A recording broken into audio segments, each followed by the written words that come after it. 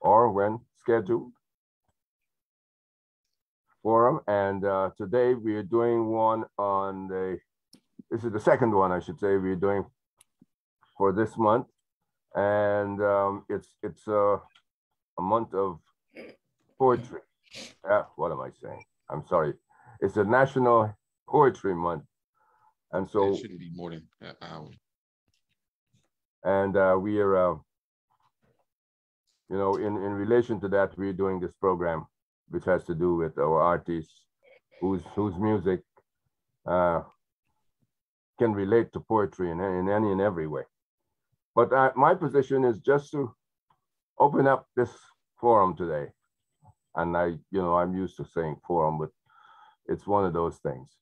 Uh, you can call it a show today. but uh, this is the UNIA ACL Rehabilitating Committee. And uh, we deal with, you know, we, it was founded by Marcus Garvey. And let's face it, uh, it, it's about African people, and everything we do is about African people. And uh, we open our meetings normally with some kind of ritual. What we do here at uh, the Freedom Friday Forum is that we do, we do the pledge to the flag, uh, we do the preamble to the Constitution, and uh, we may share with you as well the objects and aims of the UNIACL. Now, firstly, let me apologize beforehand if I uh, break into any call for sniffle or anything like that, because I'm a little bit under the weather. I'm recovering. Okay, so let me start with the official pledge to the flag. I commit my body, mind, and spirit to the protection, defense, and security of the red, black, and green. I dedicate my life to the redemption of Mother Africa and the liberation of her scattered Black children.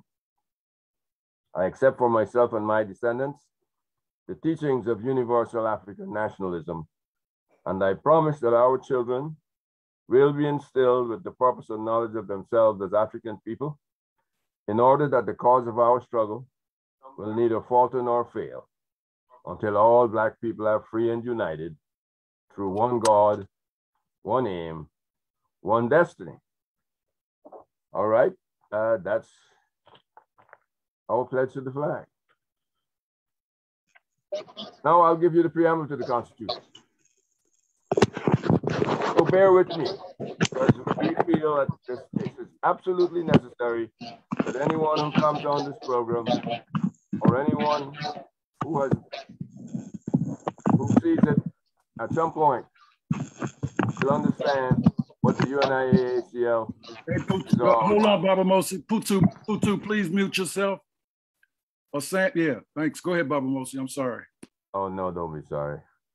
Okay, you have to do that. the Universal Negro Improvement Association and African Communities League is a social, friendly, humanitarian, charitable, educational, institutional, constructive, and expansive society and is founded by persons desiring to the utmost to work for the general uplift of the Negro peoples of the world. And the members pledge themselves to do all in their power to conserve the rights of our noble race and to respect the rights of all mankind, believing always in the brotherhood of man and the fatherhood of God. The motto of our organization is one God, one aim, one destiny. Therefore, let justice be done to all mankind, realizing that if the strong oppresses the weak, confusion and discontent will ever mark the path of man. But with love, faith, and charity towards all, the reign of peace and plenty will be heralded into the world, and the generations of men shall be called blessed. So uh, that's it for the preamble of the Constitution. Gives you a very big picture of who we are. You don't need to hear anything else, but, but of course, we need to let you know what are our aims and objectives.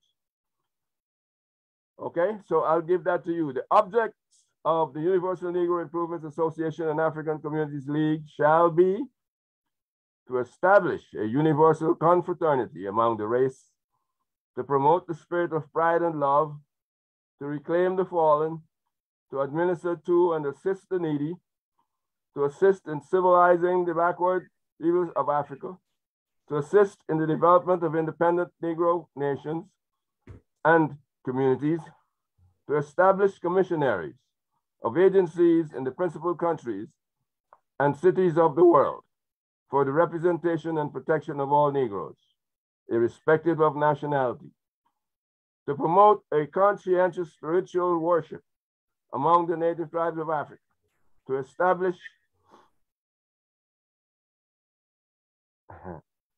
I just I just read a part there that uh, that uh, it's, it's it's you know folks, it's an old it's, something written in the a century ago. So I'm trying to mind my language.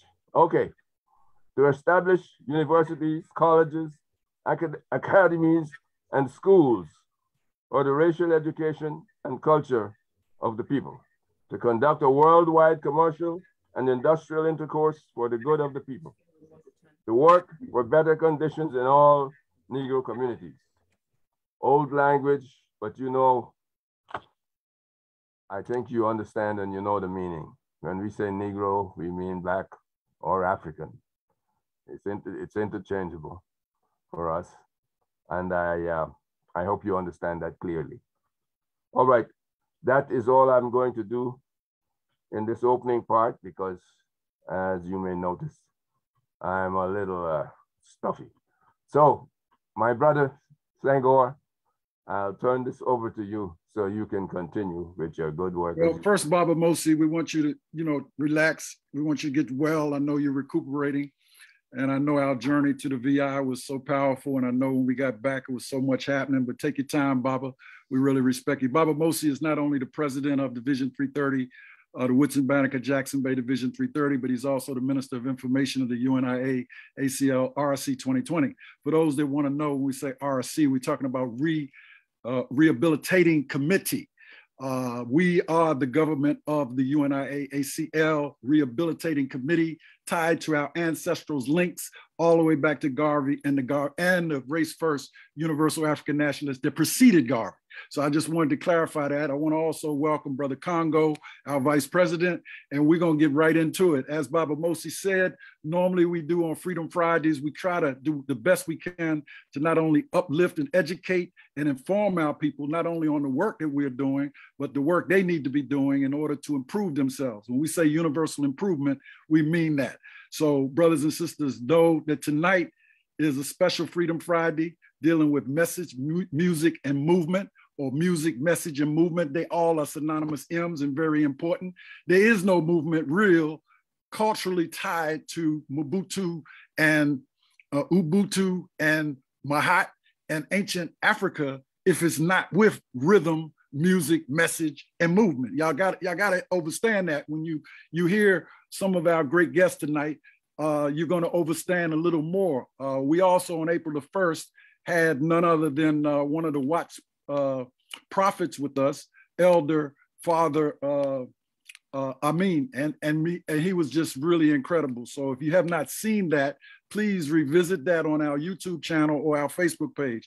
For those on Facebook, we welcome you. As I say, we're gonna get started. We know we really appreciate uh, uh, Mama Ivy Hylton for joining us. She's going to be first up. And uh, believe me, brothers and sisters, when I say healing music, Sister Ivy is all about that.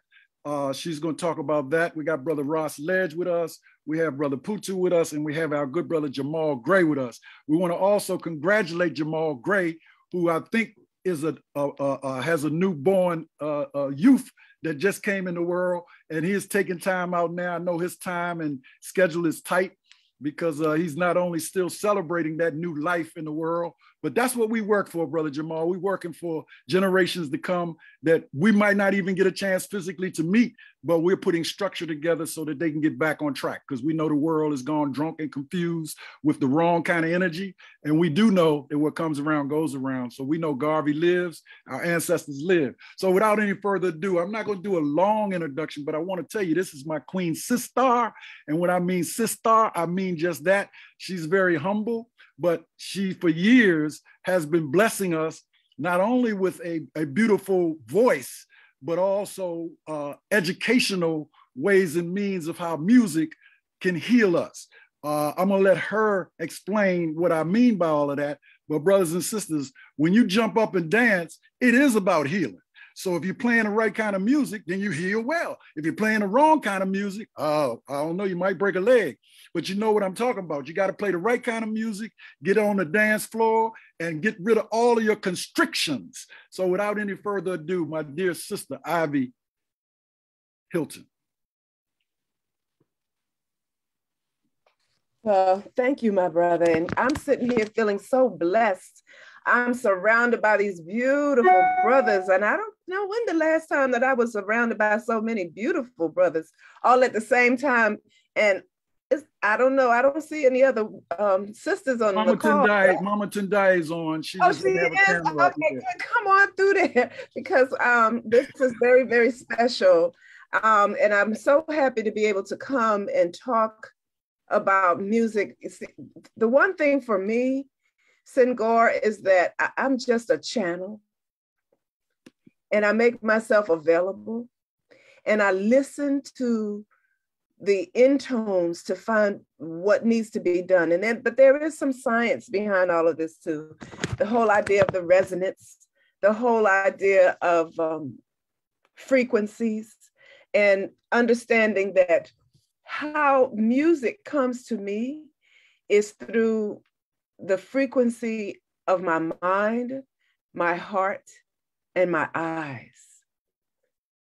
So you you sit there as a as a channel and you allow these frequencies to come and I, I just hear them in my head and then I go search for them. But they didn't come to me just like that. It, it came, they came over a period of time.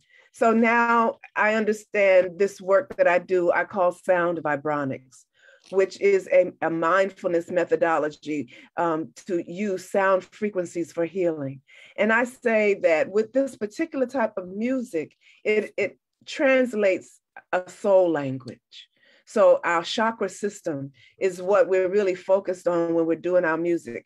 When we hear certain keys, like in the chakra system, A, B, C, D, E, F, G, you know, um, it actually connects with the endocrine system. And so that each one of our cells in our body literally resonates to a specific frequency and in a pattern of vibration. So yes, we hear a lot of the music that that we listen to. Um, we listen to on a daily basis is like on a 440 hertz. So, and, and I want to talk a little bit about that. And I don't want to go too deep into it because it gets real scientific. And that's not where I am. I, I'm aware of it. I know what kind of frequencies I need, and I'll talk a little bit about that. Um, but when we listen on a daily basis, it's usually around 440. And in that case, um, it's like a, a tuning of between 440 and 432, which if we're listening to 440 and 432 hertz, then we are moving into a cycle of healing. There are some other uh, frequencies that really resonate the lower self. And you can hear it when you hear music, what part of your body starts beating will tell you exactly what that frequency is and what you are really being absorbing into your body and into your cells. I believe our ancestors the knew and understood the power of sound. I think they knew and understood how to move that negative energy, that static energy from out of their bodies. I really believe they understood how to access these frequencies to push through really the trauma that they went through, and still we rise. So there's some medicine in this music. And I say that sound vibronics, understanding frequencies and that soul language, how to heal the chakra system in the body, is the new medicine for the 21st century.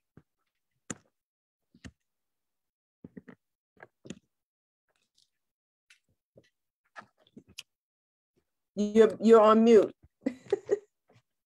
That happens all the time. I know, I know. I did that because I was so I wanted to listen and I was just making noise in the background because I'm so inspired by what you said. But you you didn't you didn't take any time at all breaking down a whole lot.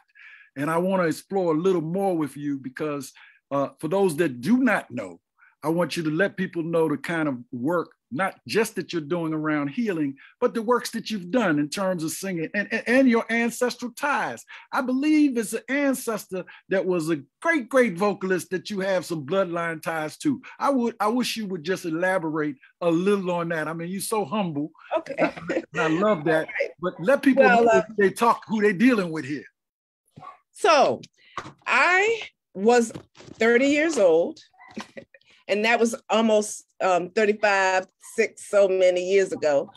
Um, when my aunt, my great aunt, who is now turning 100 years old this month, um, said, I want to have an event because I want to give certain things to the family.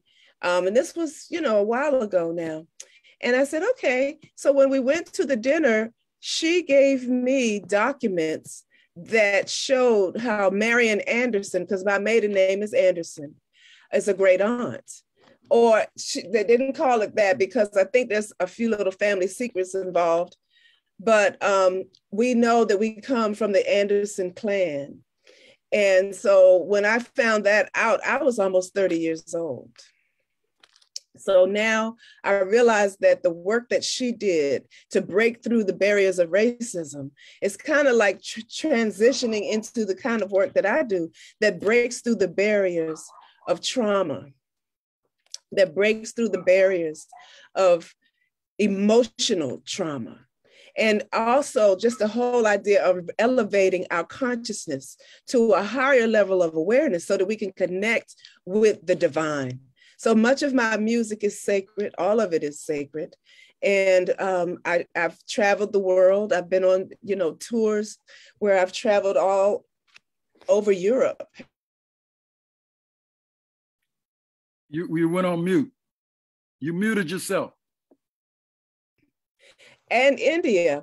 Um, I just recently came back from India a few years ago, just before the pandemic, and I and I I learned certain languages. And I uh, while I was there, I learned the, some Hindi language so that I could sing and do that uh, healing music in a way that the people in India could could understand. But what they didn't realize is that you know in India. Uh, oh man, when I stepped out on that stage, it it was the size of a half of a, a, a football field. and it was 10,000 people out there. And I just like, I was like, whoa, you know, when you go out there and they're all looking at you and they don't speak English. Um, but when I began to sing the words, the, the mantras that they gave to me, and I learned the mantras, and I started singing the mantras. They just went off and nobody could really understand why. And I told them, well, it's because of the frequencies that, that are used, because these frequencies literally speak to the soul.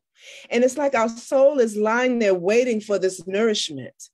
And when we get it, it's almost like, you know, when you're, when you're in church, a lot of people can, can relate to this. When you hear that certain note or you feel that certain vibration, you want to jump up so it literally moves the spirit.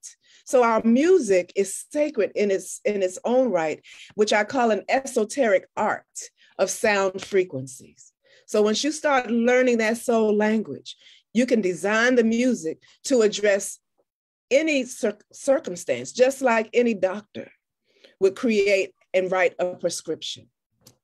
Uh, Ivy, I really appreciate that. just one more little piece that I want to add. I see behind you, you have your crystal bowls, and I know what that means.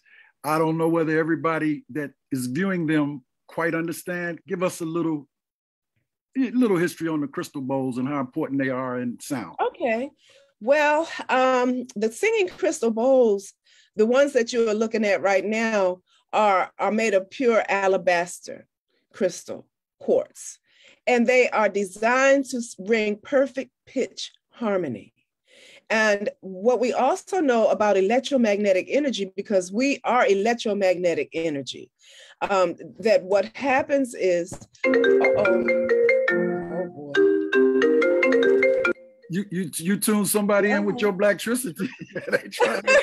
I don't even know how that happened. You know, technology is a little bit much. Yeah. So um so the crystal bowls ring perfect pitch harmony and I have elevated my collection to alchemy bowls. And these alchemy bowls are literally made with pure crystals. So I'm talking rubies and gold and amethyst. And each one of these uh, um, alkaloids, literally when you ring them at certain uh, frequencies, they, they penetrate at the cellular level. So the crystal bowls are musical instruments that are designed to release any blockages that might be in the human body and in the atmosphere. Excellent. Thank you so much. Uh, you know, and with that, uh, we're gonna we're gonna come back to you too, Ivy, because I know a lot of people have some questions. And, and and and you know that that's okay about that electricity. And so, but I really appreciated, you know, we wanted you to go first because uh, what you're dealing with with the music is relevant to what everybody deals with in music, whether they realize the science or, or the or the uh, uh, uh, universal phenomenon behind it. They, you know, they feel it. And but yes, but, but, yes, exactly, because because it's like you know when the music when the music hits you the right place, you got to move, and that you brings to move. brings me to my next guest, who happens to be a brethren who is not only from the Banneker City area in DC, but is not only uh, is a staunch Pan Africanist, but not only a great reggae artist, a great go-go artist, but he's a master rego artist. And reg, if you don't know what rego is, Ras Lidj gonna let you know. And I'm telling y'all, it, is no joke.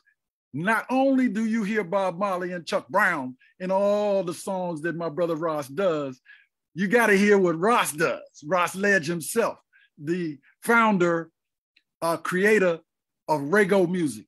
Without any further ado, Ras Lidj, speak to us, brother.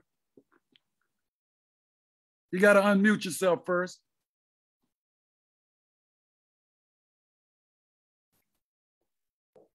Bless up, bless up, bless up, and give thanks. You can hear me? Yes. Okay. I'm also watching YouTube live, trying to refresh my page uh, while we're here. I just got to say first, before I go forward, um, before I go forward, man, I have to thank the panel, Baba Mosi.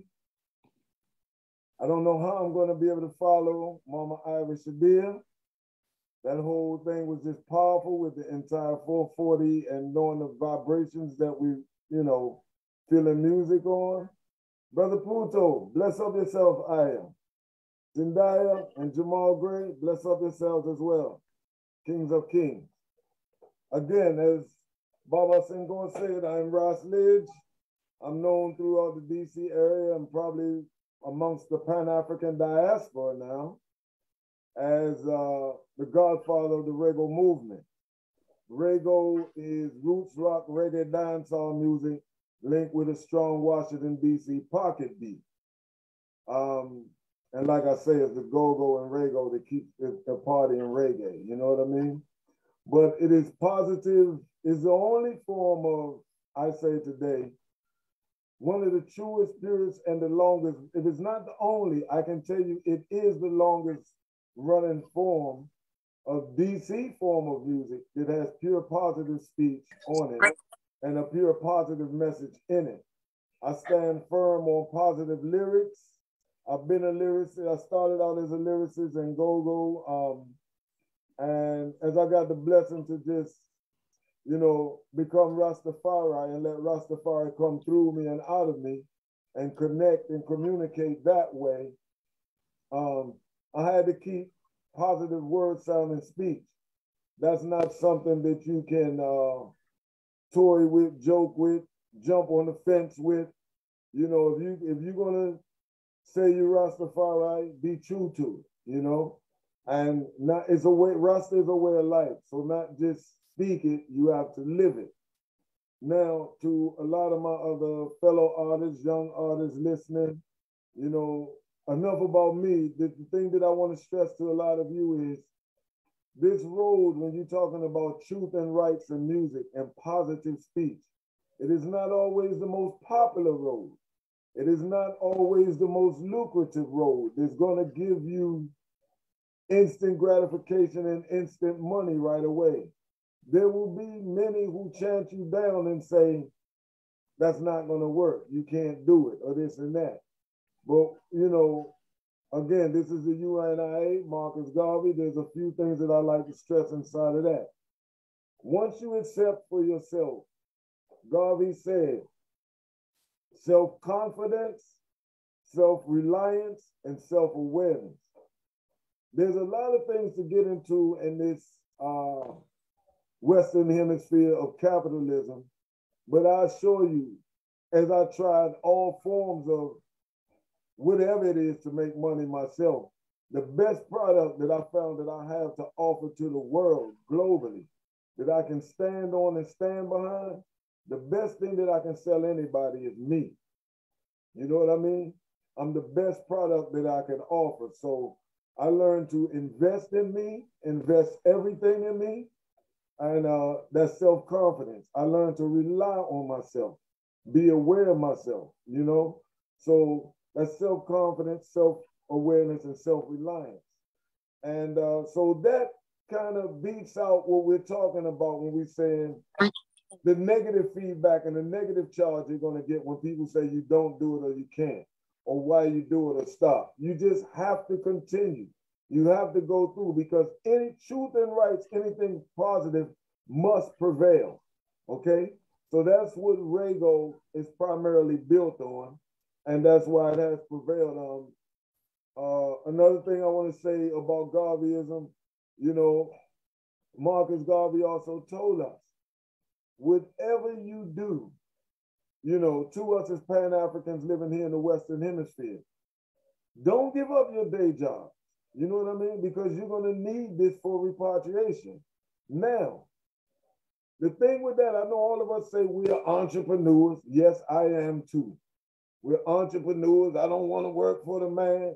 But however, until we build ourselves, until we build ourselves to grow there in our entrepreneurs, you're going to need some seed money. You're going to need some, like I say, no, people support go-go. People support reggae. I didn't find very many people at all. And I got to say thank you to Baba Senghor because from this thing was concept when I was just little and trying.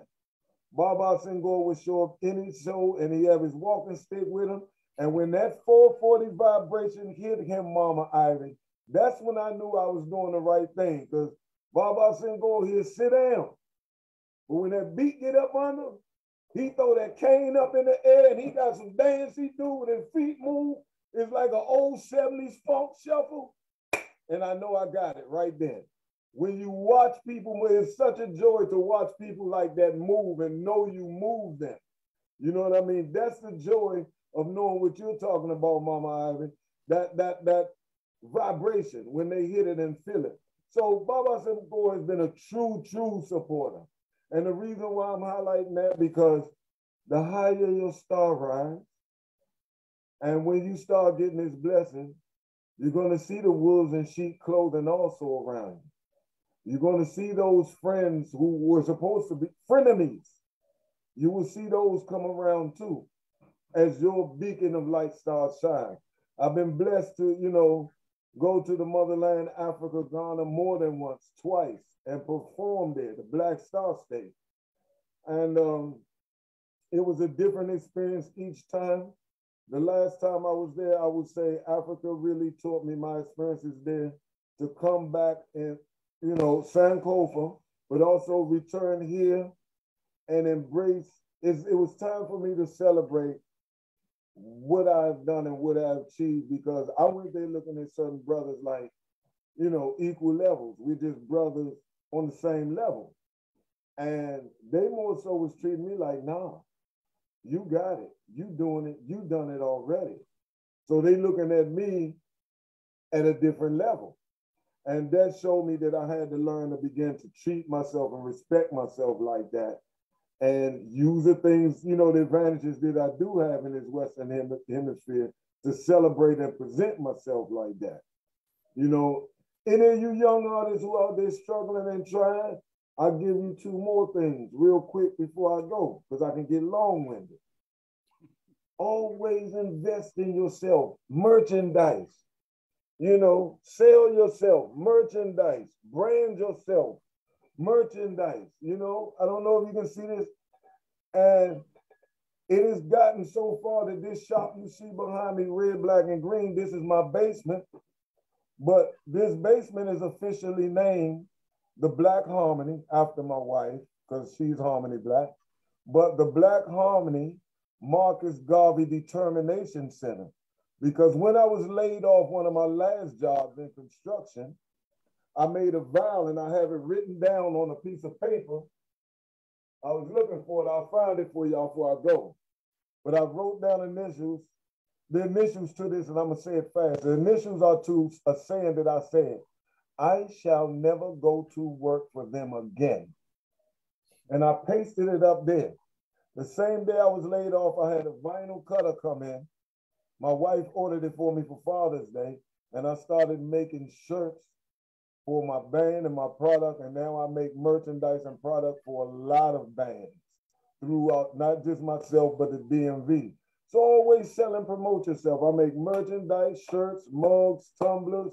We have earrings. If we're not performing at festivals, we have our day job still, as Garvey told us but this is also our own independent creation to support ourselves and to help support Rego.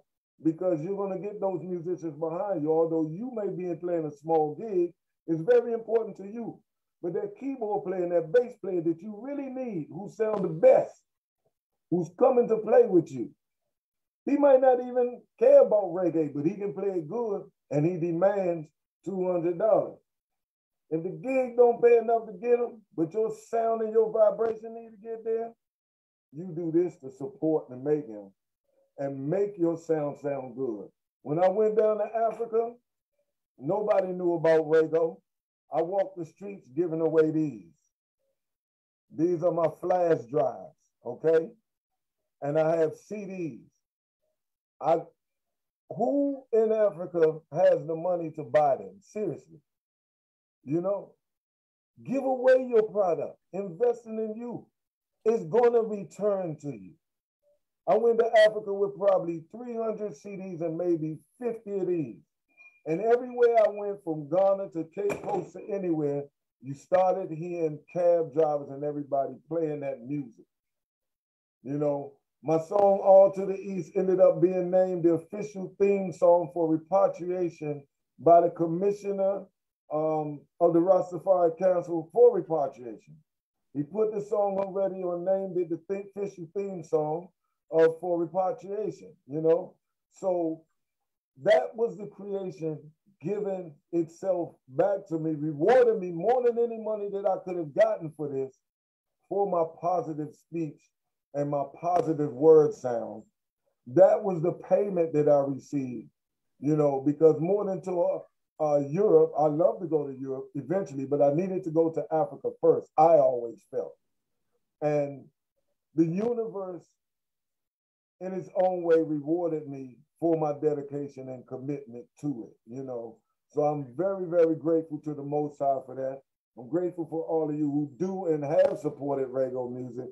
And I'm definitely blessed to be a part of this platform today. Thank you. Ras, thank you. Thank you, Ras. And uh, I just want to add, for those who do not know, another humble, another humble artist.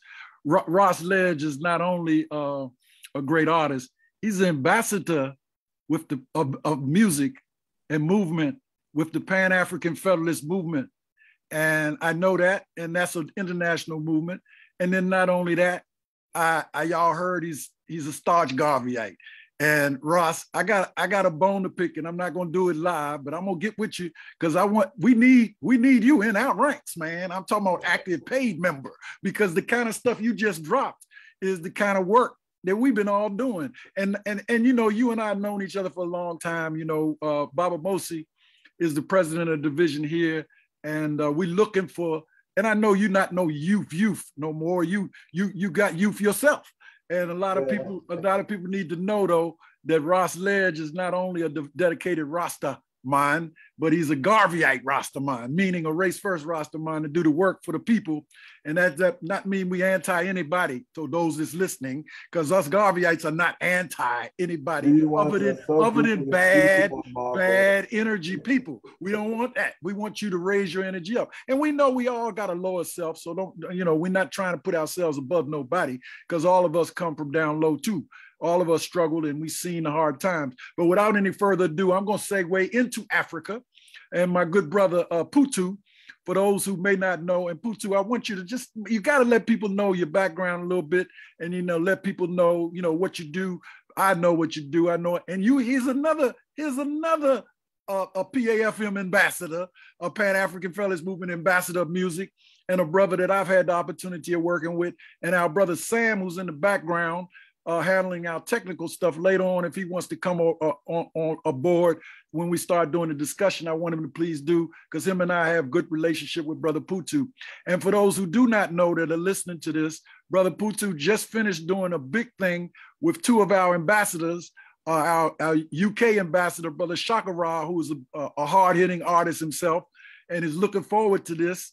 And he's now not in the UK. He just traveled to Sierra Leone to hook up with Chief Fode, another artist who is, who is a Pan African activist and a builder with the Black Star Action Network International. So it's a big family affair going on here. So without any further ado, Putu.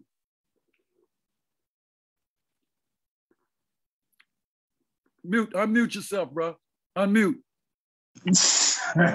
you know, I had to I had to do it like everybody else too. So i had to do that. So like, nah.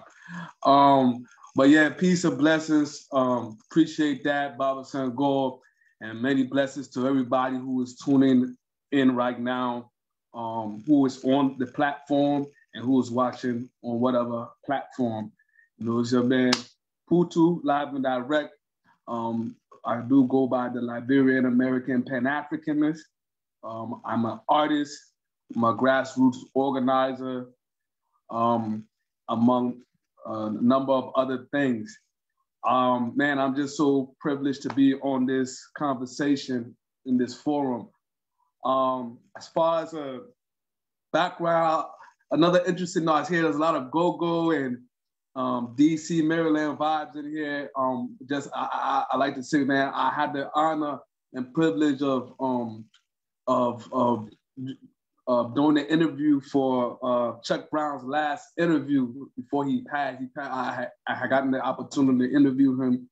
Um, for those of you who don't know that Chuck Brown is the legend when it comes to go-go. He helped, you know, put it out there, you know. Um, but uh, so yeah, I do have some connections to the DMV. You know, spent um, 80s, 90s, late late 80s, 90s. My parents emigrated to um, the uh, DC area in the 1980s, mid 80s from 19 from from Liberia, West Africa, uh, while there was a lot of political turmoil um, going on in the country. So um, you know, I'm the first in my generation to um, you know to in in, in the immediate generation to um, to be raised in Americas and um, to understand what's really going on in America because um, a lot of times when you're coming from the African background or anywhere around the world, unless you get a chance to really kind of be in America, you don't really understand America. And I say that to say that uh, I definitely use the music as a way of putting out that information to uh, my brothers and sisters who are in Liberia and Africa, and then vice versa, you know, giving, shedding some light about what's going on in Liberia and um, in, in America. And um, so we're talking about music.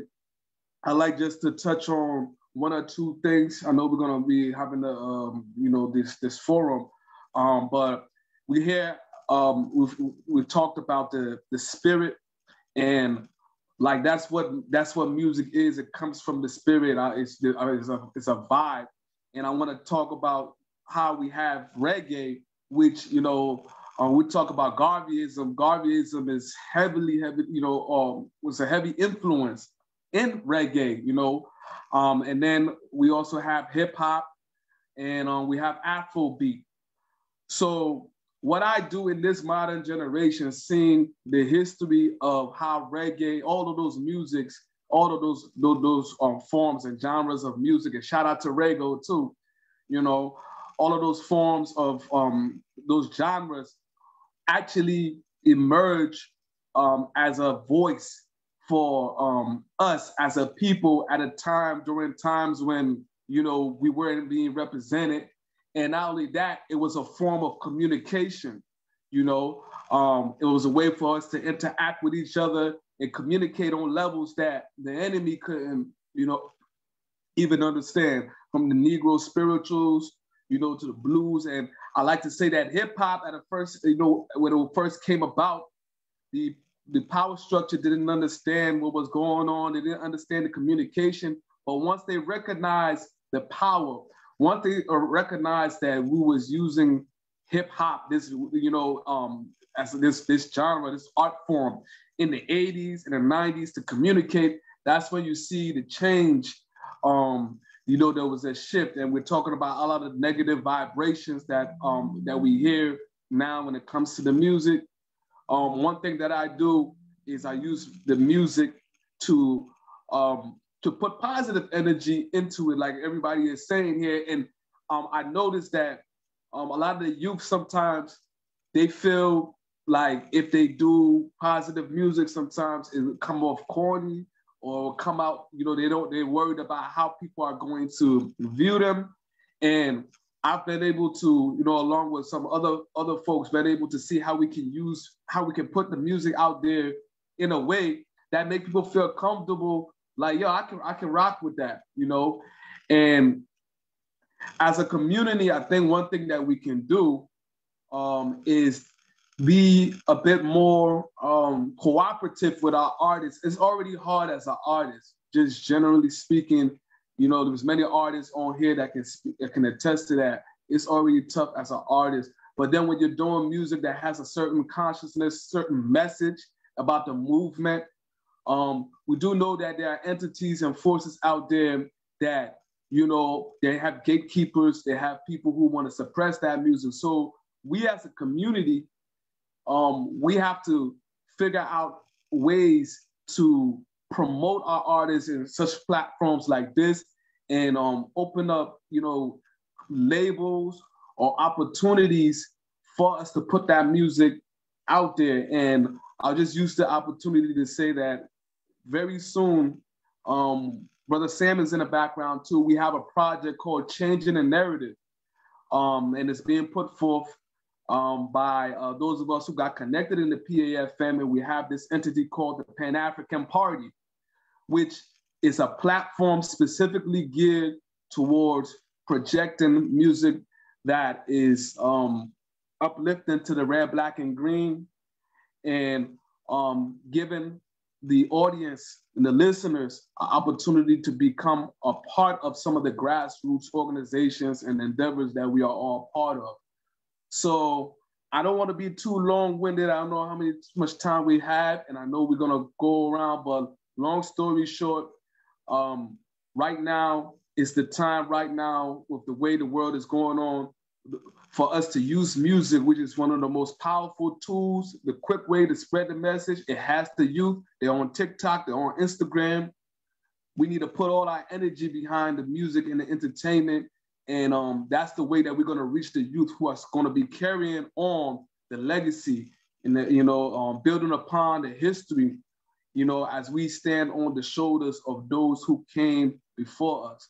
So let's attack it let's keep on moving forward with the music. I shall leave it at that for right now. So thank you, brother Putu. And I, let me just, I want to thank Ras, Lidj, and Putu, just keeping it real, because this, this is what it's all about. See, see, I know the kind of work y'all are doing, but the world needs to not only know the kind of work you're doing, but to be motivated, supportive, and to be able to emulate their own. What Ras was saying was so important because self-reliance is deep. But when an artist is self-reliant, and I know uh, Brother Corcoran Holt was going to be with us tonight, my stepson, and he's traveling. He's doing a gig, and he's a new parent. And so, Brother Jamal, I really appreciate you as a brand new parent uh, being being being here with us. But uh, Corcoran, we're gonna try to get Corcoran here with the 20, 22nd. Or he's gonna be traveling with Kenny Garrett again, but he said he's gonna be in the UK and he wants to still do this because last year me and Ras and and uh, Baba Mos, not last year, before the pandemic, uh, brother Sam hosted a, a, an event with brother Ras Lidj, brother Corcoran, and uh, uh, Bomani, and uh, a sister Baba Mosi was there, and it's the same kind of work Putu is talking about that's critical for us. And I want everybody to understand, you know, everybody can do something relevant to aid and assisting this project. Our grandchildren, that those of us that are grandparents, we want to make sure they get the right vibrations, y'all, because it takes root when you're young, you're listening to the right kind of music. When you become older, it, it resonates and you pass that on. So we're building structure Putu, not only for today, but we definitely want to change the paradigms for today, which leads me into my next guest, how important he is and what the work that he's doing, because it's critical that we we we, we Sankofa, we reach back, but we also have to be creative about ways and means of how we do things so we can do it a little better because we up against some real serious wrecking industry kind of stuff that's designed to keep us dumbed down.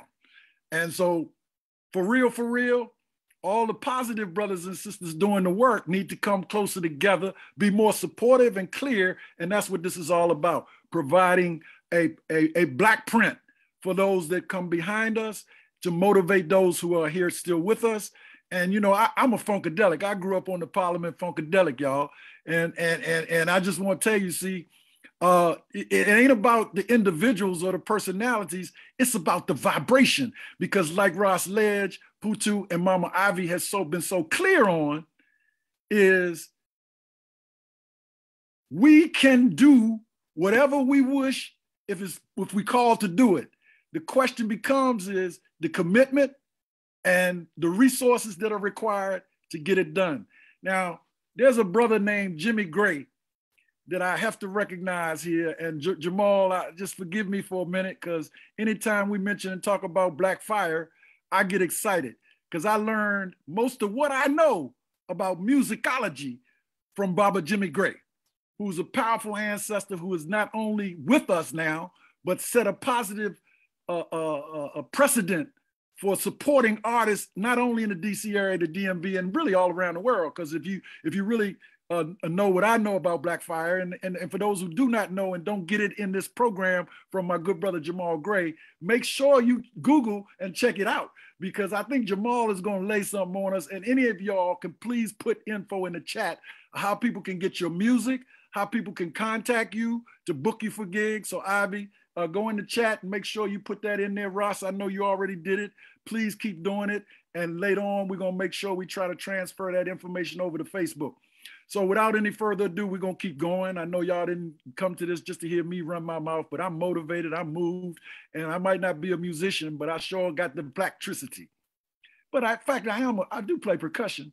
So without any further ado, though, my good brother Jamal Gray, who is not only the son of Baba Jimmy Gray, but is carrying on the blacktricity, black fire legacy, and he's gonna break it up for us. So, brother Jamal. Thank you, thank you. Let me know if you guys can hear me. I, I, I as brother Baba Senghor said, I do have uh, a four-day-old baby girl, uh, Sage Mali Gray, who we just brought home um, yesterday, uh, actually. So we just getting settled in back at home. Uh, I have a nine-year-old son, Cairo Gray, as well. He'll be on his way shortly. So I appreciate you guys for your time and sharing and allowing me to share. Um, and yeah, I, am a Washingtonian, you know, from Banneker City, really Northeast and Northwest uh, is where I spent most of my time and, you know, where my family history is. My father, Jimmy Gray, uh, he comes from the Gray and Penny lines, and those families specifically go back, uh, you know, a Piscataway and, and which is the indigenous people of, of, the Maryland and DC area, one of the indigenous nations of this area, uh, and also just Black Southern, um, and, and, specifically in Northeast Kenilworth neighborhood, Kenilworth Park neighborhood, uh, Aquatic Gardens area, uh, off of Kenilworth Avenue. Our family goes back about 100 years there. So um, and that's specifically on Douglas Street. Uh, you can you can do some knowledge about that area. I mean, it's a lot of music history there, even in Kenilworth Park. Like take it back to the Stone Soul Picnic and days like that. Um, so I think my uh, music is is certainly um, something that I practice, but I consider myself just to be a student of, of culture in general. And through music, I've been able to explore uh, visual art, uh, curation of visual art, um, event organization, um, organizing in general, alongside a lot of different groups. Um, but but music being a vehicle for me to build a sense of self and a sense of confidence, and I think that spirit um, resonates in what I hear the brother Ras and sister Ivy talking about, um, and we all find it sometimes through different channels, you know, through different schools, so to speak. E- even in DC, I think one great thing about growing up here, especially in the 80s and 90s, when we talk about like the Pan Africanist movements, uh, the different spiritual faiths that people will follow. I mean, from from Rastafari to the Yoruba to, you know, all different types of spiritual movements and political movements that were happening in DC give you so many different uh, trees to pull fruit from as far as finding your identity as a uh, you know black identified person, you know, black as we're called, um, person from DC in this area, and it's spread, and, and of course through migration and, and through everything, those roots are connected to a lot of different places internationally throughout the diaspora, but even, you know, to our neighbors to the south, like the Carolinas, where my mother's side of the family comes from, and, and how those traditions get shared. And I think music is a place for me to be able to express that. Um, my father, Jimmy Gray, was a radio programmer, and, and uh, my parents actually met working at WPFW in the 80s. You know, my, my mother on the cultural affairs side, uh, news, studying under uh, brothers like Baba Askia Muhammad, who recently transitioned, uh, who was a big inspiration and, and you know, jazz and justice, as they call it. I mean, they've been about that work about bridging music and activism, you know, music and and and identity, music and and current affairs and awareness, you know, before even woke was that phrase. It was like that awareness through the music and peace and positivity as the as the brothers were talking about. And healing music, um, specifically Black Fire, a record label that my father started in 1975 in Washington, DC. The records, uh, in fact, I have one of I have a bunch of them with me. If you can see this, this is African Rhythms by a group called Plunky and Oneness of Juju, which is the first record released on Black Fire Records in 1975. Uh, on the back, you can see uh, this is a reissue from 1993. The record was released in 75, but it says Black Fire Music, 4409 Douglas Street, Northeast, Washington, D.C., 20019. So this is like really a, a piece of art created um, in the DC community that was able to make international and national acclaim uh, independently and go on to be sampled by brothers like J Dilla and Madlib. And so, um, I mean, I think the great thing, like I said, about growing up in DC and even in in uh, the household that I was lucky enough to be in was learning by osmosis and never really being forced, like given enough freedom and structure to kind of learn uh, and and and practice and find the best path for myself while still having these pillars around, whether it be a brother like Baba Senghor or who we would see in Freedom Plaza, or we'll see at Brother Bay's place, or you know,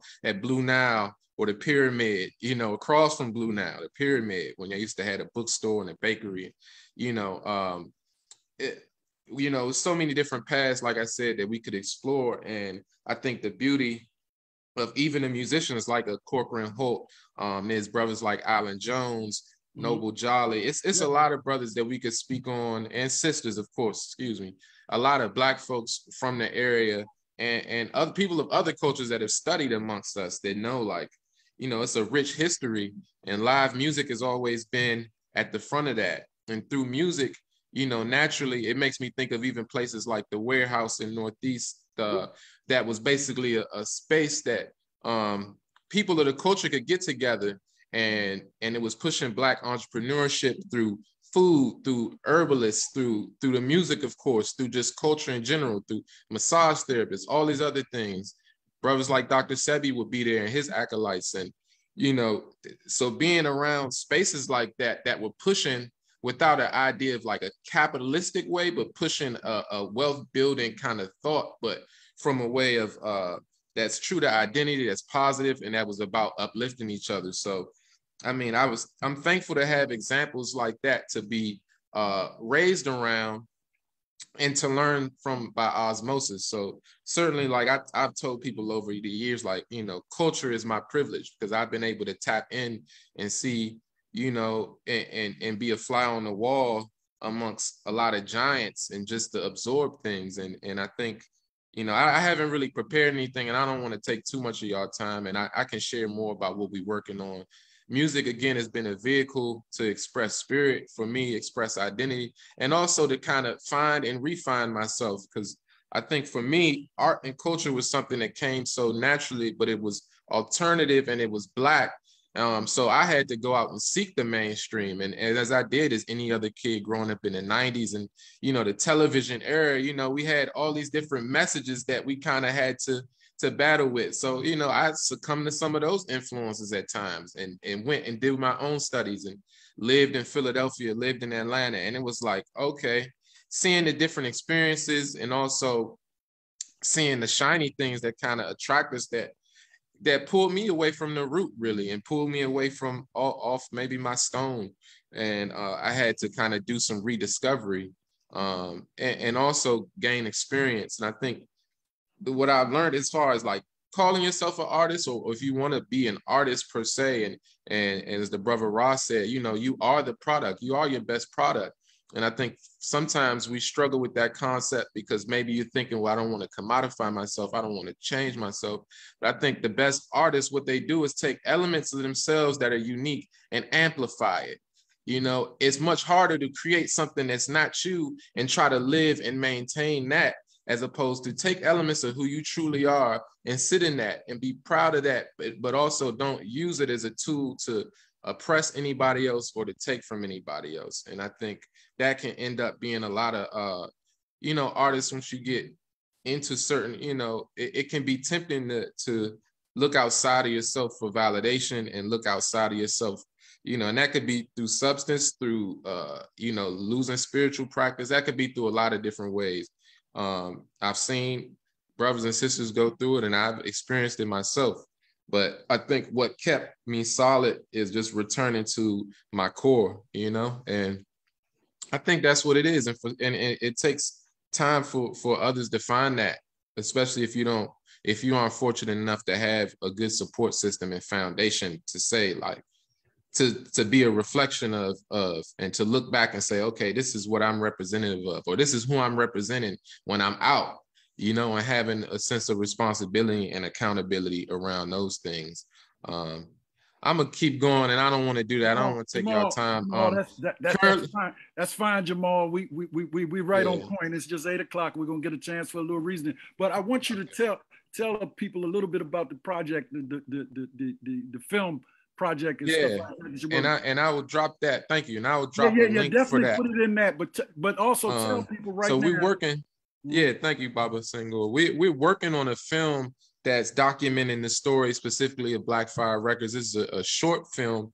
uh, and it'll speak on the uh, the times that were, you know, DC in the country in the late 60s to early 70s and the things that led into the real high level of art and music and things that was creating and social movements that were happening and how you know people really use music as a vehicle um it's for the same reasons that sisters and brothers for healing empowerment and identity you know and that's what black fire records was really about message through the music um we we so the documentary you can go to blackfiredocumentary.com. There's a trailer up for that. We should be releasing it in June. This is a documentary short that we were commissioned by the DC Humanities Organization to put forth.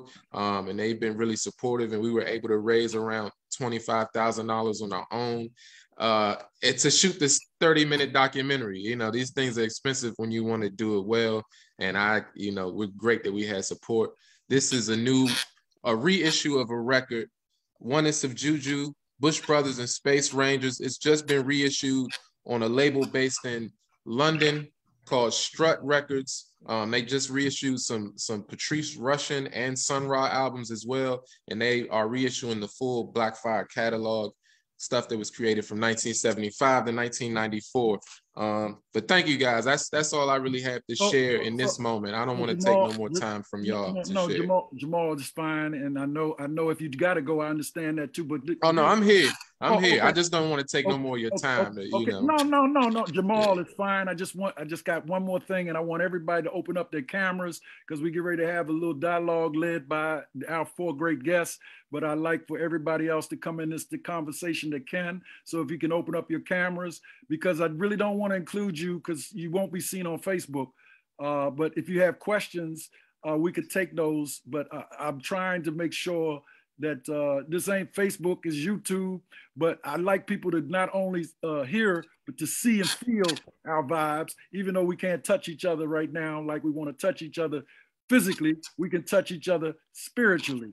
And Brother Jamal, uh, talk about some of those groups that are involved with that project. I know you mentioned one that's a Juju, my good brother Plunky, and some of the yeah. some, some, of the eld, older folks. I ain't gonna say elder, but some of the older folks, you know, they lit up. Mama Tendai and uh, Ivy, we all lit up because you know we all grew up with that. and, yeah. and, and, and I saw Plunky not long ago, and I was just mm-hmm. so I mean, and it's just so good because then like African rhythms. Right, right. African also, rhythms. Also, wasn't Sugar Bear involved too to some extent? My brother Sugar yeah, Bear, who that's I African rhythm. Yeah, yeah, Sugar Bear. So Experience Unlimited, a lot of people don't know they got that name from the Jimi Hendrix Experience. Exactly. You know, when they first their first record was really rock and roll and soul influence. In yeah. fact, um, and the brother that did the artwork for the record I'm gonna show you was a brother named Malik Edwards, who yes. who was one of the main um art, artists for the Panther Party. And the he, Black Panther Party, yeah, I know Malik. We know yeah, Malik, Edwards, and uh, you know a lot of the publications he did original artwork for, and he did this piece of artwork for Experience Unlimited, their first album. If y'all can see that, I know my camera is limited, but no, that's uh, good. That's good. That's good. That's good. But uh, you see the inspiration when they talk Afrofuturism. You know, this is the stuff that these brothers were were really um brothers and sisters, excuse me, were exploring at, at, that time and even black fire is really about that you know right. looking to the ancestry but also looking towards what's next and um, now now now that you mentioned that I, I must say my brother jimmy gray was also a, a, great herbalist i mean he knew about herbs yeah. he knew about right. all that kind of stuff y'all and not only that he was a very, very, very, very connected brother to many, many of us in the Banneker City community and still is. I want to make yeah. sure because, you know, all what we're doing is for the ancestors. But I want to thank you, Jamal. And I know, thank I, I know, I know how the vibe is. Uh, eh, but but I want to congratulate you again. You got a, a, four month, four day old child. Four days, yeah, yeah, yeah, yeah. And, and you with us, and I just really know because because that's what we really working for is the children. I mean, we still are children ourselves. Uh, right. No matter how older we may get, we're children still. Uh, children of the Most High, and we're children of our parents who are ancestors, and it is very important. So what I want to do right here is open up and and first just say uh, thank you, Ivy, so much for your uh, excellent presentation. Thank you, Ras Lidj, for your excellent presentation. Thank you, Brother Putu, for your excellent presentation. Thank you, Brother Jamal. And I knew all of y'all were going to be excellent. And I know how important it is. I know a lot of times I heard Baba Mosi earlier say it was going to be like a concert, but but for real, for real, this is a panel and it is a reasoning session, and we are talking about message, music, and movement, and it's critical because our artists don't, unless you do a radio show or interview or you got a concert coming up, sometimes you don't get the opportunity to just speak truth to power to our brothers and sisters. Y'all know what I mean. I mean, you know, and, and, and if you got a show coming up or you got a record, you got to focus on what's what you're trying to promote. But I wanted you all to promote yourselves here and to talk to the people so the people can not only support the projects that you're involved in, but understand that you're working for a positive world. You're working to bring the world back in a positive way. And that's what art is all about. So without any further ado, I'm going to pop the first question. And I want to start with Ivy and then uh, Ras Lidj and Putu and Jamal. And then we're going to open it up to everybody. Everybody. I don't know how I don't that, know how that I don't know where the where the coming from. from. But any rate, but any rate. like, like, like, so but any so, rate, any rate my question, my question if y'all can, y'all hear, can hear in this, in this. Everybody, Chloe, Chloe, one, one. Unless you, unless you. Beg your pardon? Beg your pardon? What'd you What'd say? You say? Close, close, mute your Right. If right, every, if every, right. They're asking people, she's asking folks to mute the mics because I don't know where the feedback was coming from. But anyway, without any further ado, let me get to my questions so we can get going because we got a little time. Uh, and I'm going to let all of us have an opportunity to reason. But my question, Ivy, in this day and time, 2022, 2022 I'm gonna try, I'm gonna try again. oh, this is funny. But at any rate, the question is, Ivy, give us your, your best possible advice for not only artists, but for anybody striving to bring peace into the world now going in 2022 and however you want to do that. And I know, and that's, I know that's, that's a loaded one, but just a message from you as, as what you do uh, share with us out of love, whatever. And then Ras, Ras and, the same, and, same and, and Jamal, and Jamal, get this party started. Okay. Well, the, you know what? The first thing that came to me when you said that, because I said, "Uh oh, what's this question going to be?" The first thought that came to me, Senghor, is to practice tuning in to the frequency of the Most High. And when I say that, I mean really understanding how to go into the silence, how to set up your sacred space, whether it's right, you know, whatever your element is. I think somebody was speaking of that earlier. Whatever your element is, if if oh, there was another Zoom conference I was on, and we were talking about identifying your element. Is it water? Is it wind? Is it the earth? You know, um, and whatever your element is, is it fire? Put yourself in that space and then tune in to the frequency of the Most High. And then that will give you the direction of what is needed in order to bring peace into the world. Ras Lidj. Unmute, unmute. Same question. Same, same, same thing. Give me the question again, because I'm so tuned into what That's she's okay. saying, and I'm gonna tell you why. Give me the question again, please. Oh, oh, no problem, no problem. I said in 2022, based on where we are today, uh, what message would you give to folks, not only artists but everybody listening, to help bring the world more in a positive and peaceful direction? I know that's a little different, but that's the same basic question. Um, good. So I'll tell you why I was tuned into what she said. She just said right to me to answer she gave the best answer, I would think, but um, be open to add on to what she said, be open to positive vibes, positive influences, positive messages. Allow your your head, which is your heavens, and your inner energy to accept positivity. When you hear positivity and you enjoy it, allow don't be afraid of it. Allow yourself to explore it. Because as she uh Mama Sadia was saying, that is the energy that's going to carry you. Every one of us have our own individual journey. But once you allow yourself to open up and receive something positive, to push away whatever negative energy is surrounding you, especially with music, because those seven notes, and I don't care how you put them, do, re, mi, fa, sol, la, ti, do, A, B, C, D, E, F, G. Those seven notes, and those of you who know music know we can coordinate three of those notes to make a chord. We can add a fifth, we can add a seventh, we can add a ninth. But those are the vibrations that move us. And speak directly to our energy. So whoever you are, wherever you are, even with a tone of voice, when you hear positivity and you allow yourself, especially through music, to hear positive vibration is something you will lead you, don't be afraid of it. Open up, accept it, and go with it. And it's going to lead you on your own particular journey was meant for you. Yeah, give thanks, Let me say one more thing, please. Go ahead, go ahead. Mama Shadia has helped me so much, and I'm so tuned into what you're saying because I'm gonna give away one secret about me. I know myself very well.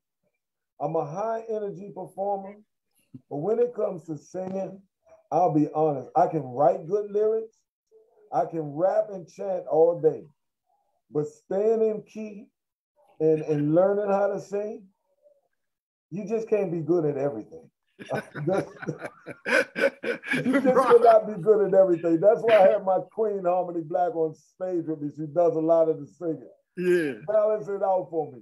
But I tell him every day, Mama Shadia, I'm going to wake up with a blessing and I'm tuning into the Most High.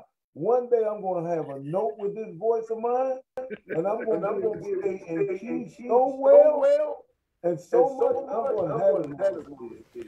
Oh yes. Well, all I need is about an hour, Whoa, and whoa. then you'll be able to sing in key. So, so, so you see that, Ras? You see that, Ras? Yeah. See, I'm Ras, how, good. See how the family works. But anyway, I, I, I, I know she knows what she's talking about too. It's no joke, and so you better follow up on that one. That one. you can also get a vocal um processor that will keep you on key. Whoa. So, Putu, same question, bro. Yes, man, it's giving some great answers. Um, and um, if I were to add to it, I would say for everybody listening to embrace healing, to embrace um, therapy, okay? Because it's like um, because of what we've undergone in the world, there's so many different traumas and hurt conflicts, all type of things we've gone through, and sometimes to keep up with um with life in the day to day, we don't take the time to really um process, you know, I understand how what we have gone through affects us on a day to day, and so there's a lot of hurt, there's a lot of misplaced anger, misplaced emotions that affects how we do interact with each other and affects our ability to um, function in general. Um, I would say that um, you know embracing you know forgiveness um, in order so that you know we could be forgiven. Um, there are a lot of people who are transitioning, um, young and old, all over the place now, and sometimes there are grudges uh, between family members, friends, you know, people who, you know, you never thought that you would, um, you know, um, not talk to. And, you know, by the time people transition, um, you're not able to do those. And that, that there's guilt and there's burden that we, you know, sometimes build up. And that's energy that's holding us back from being the best that we can be. So um, I would say healing, and that's something that um, I'm pushing. Um, we're pushing with the Liberia Youth Movement in Liberia, um, because we know that if your mental health, your emotional health, your spiritual health is not intact, you know we cannot be um, a better world. We cannot be a better people. For healing. That's a great addition, Putu. Really appreciate it, brother Jamal. Thank you. Thank you.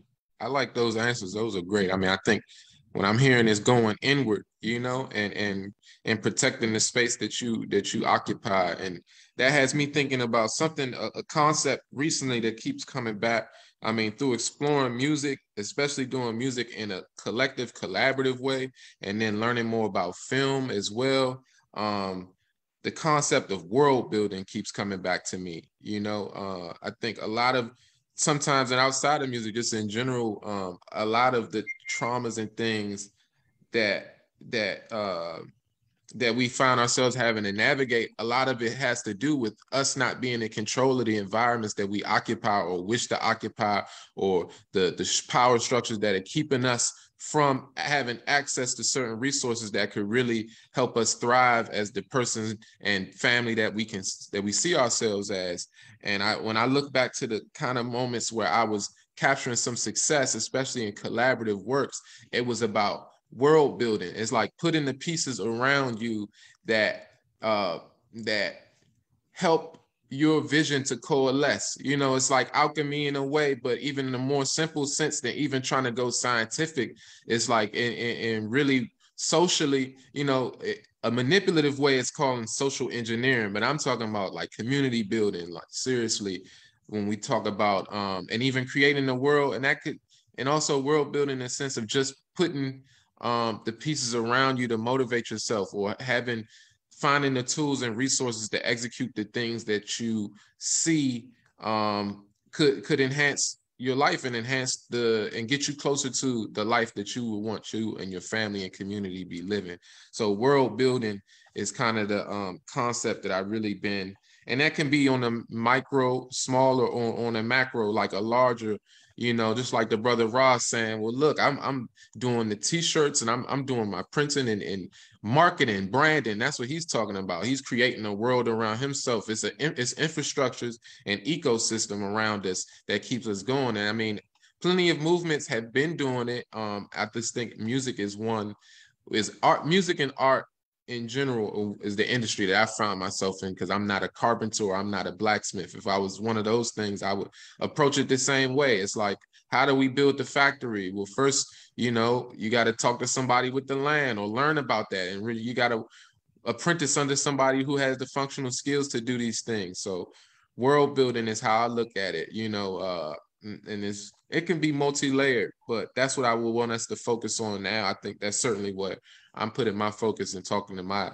direct community uh, of collaborators and artistic, creative, you know, entrepreneurs or or aspiring and aspiring entrepreneurs, you know, that are inspired by by the work like people that you all are doing. Um, world building, that's what it comes back to. And that could be building a crew, building your family, building uh context, you know, I heard Questlove even talk about that when he was talking about the Soulquarian movement at one point when he had, you know, they talking to their record label to say, well, in order for our story to to mean as much, we have to build context. So you got Badu, you got Mos Def, and all these people, and they need a deal, and they and you need to market this thing together. And this is how it is context, is world building. You know, on a story when you when you think about Marvel and all of these big universes some cinematic universes that's world building so that even an insignificant story in that world becomes significant to you because you now have context of what that world is. It's a more complete vision.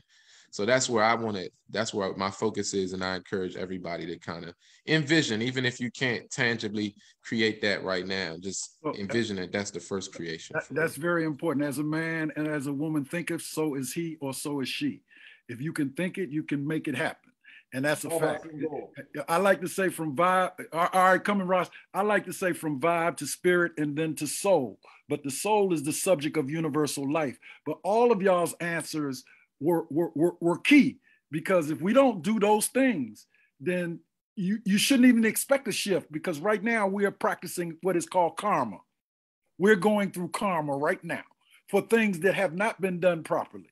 And so what we want to do is have good karma.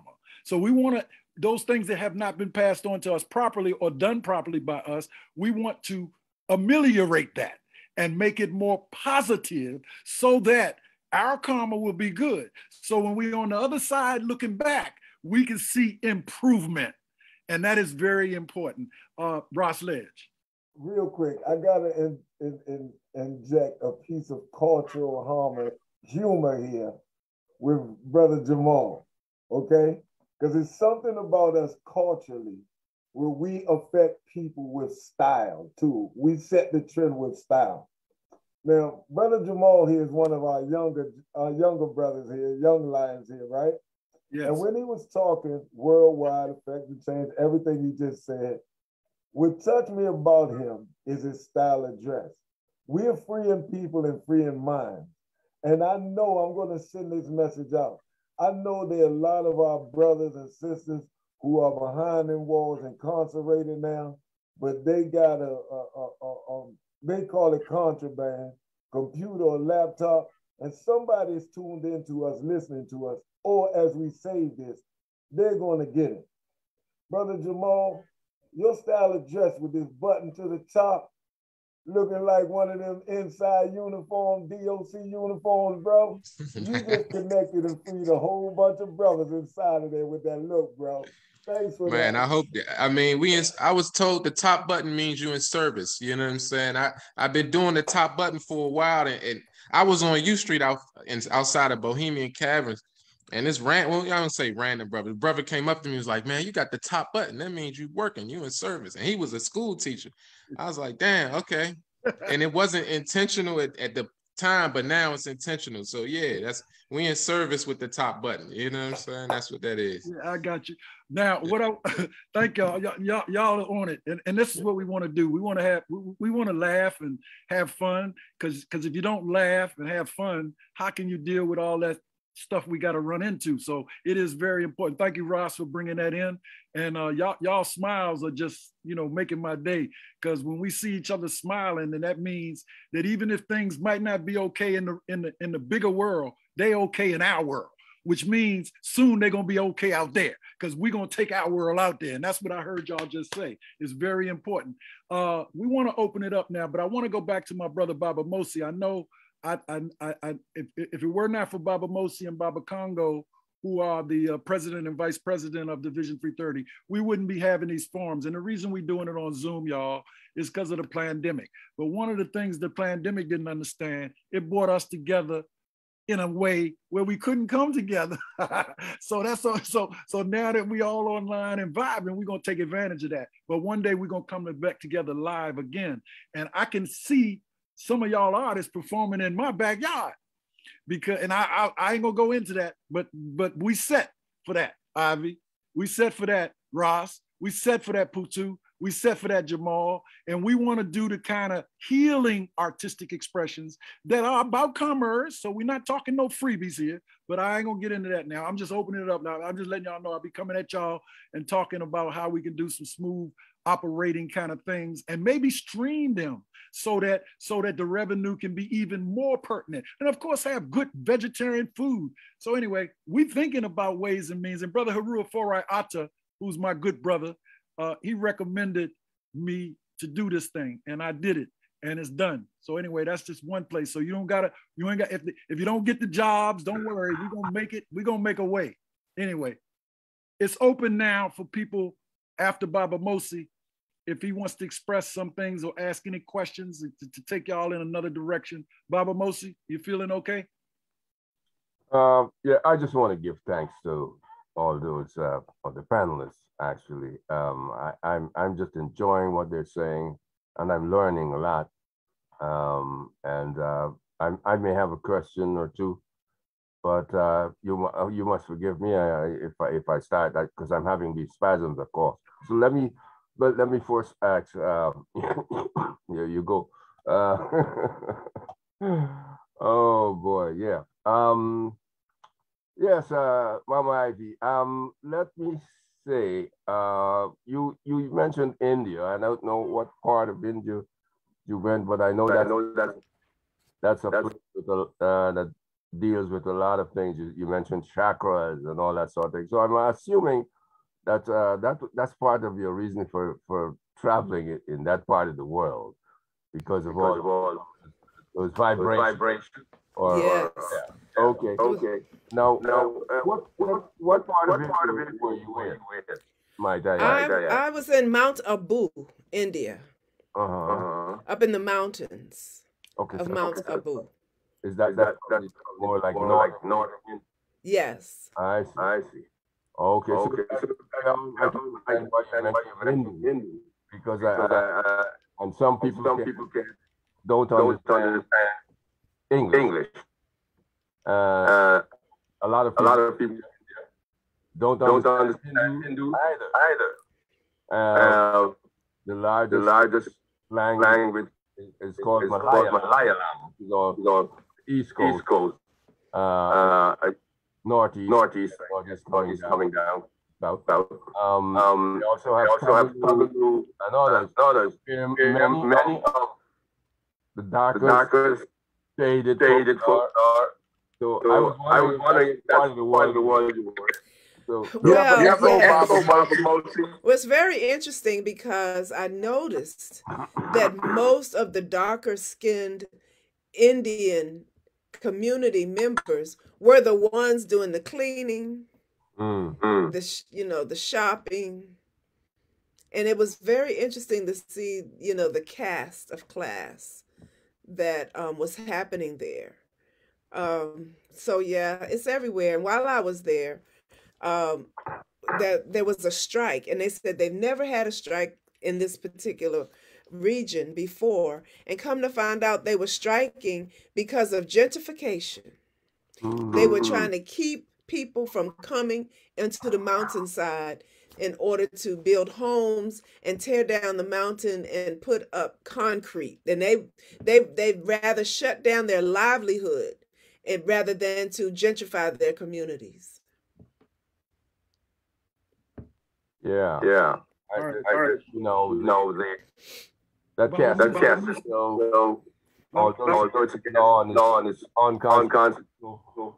It's, it's, it's it's alive and alive well, and well. just like Baba Mosi, it's a terrible US. echo. Baba Mosi, it's a terrible echo. We can barely understand what you're saying. It's a terrible. Yeah, I have a feeling it's because of, uh, I'm not gonna ask any more questions then. It might have been that I'm, if it looks like I'm on twice, it might have been, uh, No, it's because- sounding good now. You're sounding Oh. good now. okay, But, but at any rate, I don't know what it is. But but but but but but what I want to do, if no, if you were finished, I don't know whether you were finished. Yeah. Well, I was just, I was just mentioning the fact that the caste system is still alive and well. and the- Sure.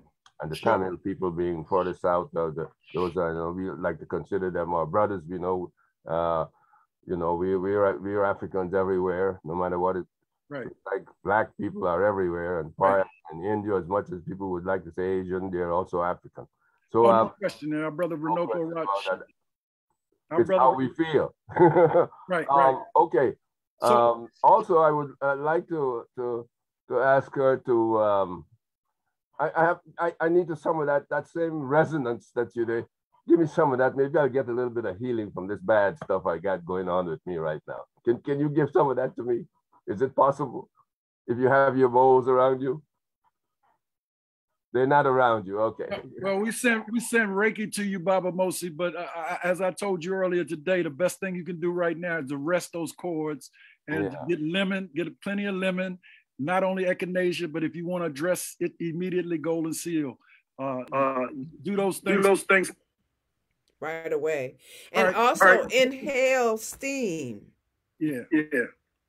Do the inhalation of steam with eucalyptus. And that that should really help to open up the So, so Mama, Mama, lungs. Mama, Mama Tendai, uh, I, I really want to come to you because uh, I want a little more balance in this. Mama Ivy has been carrying. Sister Queen has been carrying it with all of this testosterone energy. Uh, so, Mama Tendai, I, I know you've been hitting in the chat, but I, if you want to speak to anything that you heard from these wonderful guests or any kind of wisdom you want to give uh, us as a UNIA active uh, sister yourself, Mama Tendai. I wanted to just express gratitude. Um, you know, each morning when I get up, that's the first thing that I do. I express gratitude for another day of life, uh, for the miracle of salvation and upliftment, you know, uh, and that realizing that every breath is a miracle.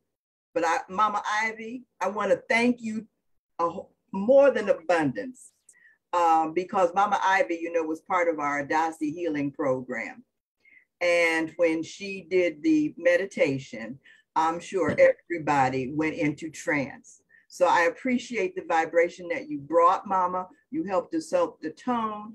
And as you all are saying, the message that's in the music, that's in the vibration and whatever, we can feel it and we can heal from that. So I appreciate all of you, and especially you young ones. I'm an old bird here. So I've been around the block more than three or four times. And so whenever I see young people, you know, it it I it lights me up and I feel very full from having heard all of you all this evening. And I'm grateful that we know that as we transition, that we leave things well in your hands, that we know that you all will go ahead. The only one little thing I was going to say is, you know, we spend so much of our time in life seeking our purpose in life. When the Yorubas are very clear when they say your purpose is to live a life of Iwapele. Iwapele means of good character, so that your good character and your good energy, your positivity, as the brother was saying, creates the environment for the upliftment and the continuous positive evolution of our species. All right. Now, now I want uh, Mama, do me a favor. Uh, you were speaking about young brothers and sisters, and you got a you got a young brother sitting beside you. I, I, I call him young. I know y'all y'all y'all. No offense now. Uh, Baba Senghor is a granddaddy, so when I call you young, that don't mean that you know youngster. You know, I know y'all are grown, y'all got children, but please, uh, let's hear from your son. Uh, I know he's. I don't know. I hope you've heard a lot, but you know, I, what do you think about? I mean, you you.